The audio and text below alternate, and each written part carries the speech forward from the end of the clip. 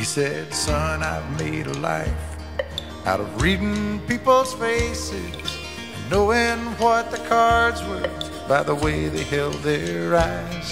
So if you don't mind my saying, I can see you're out of aces for a taste of your whiskey. I'll give you some advice. So I handed him my bottle and he drank down my last swallow.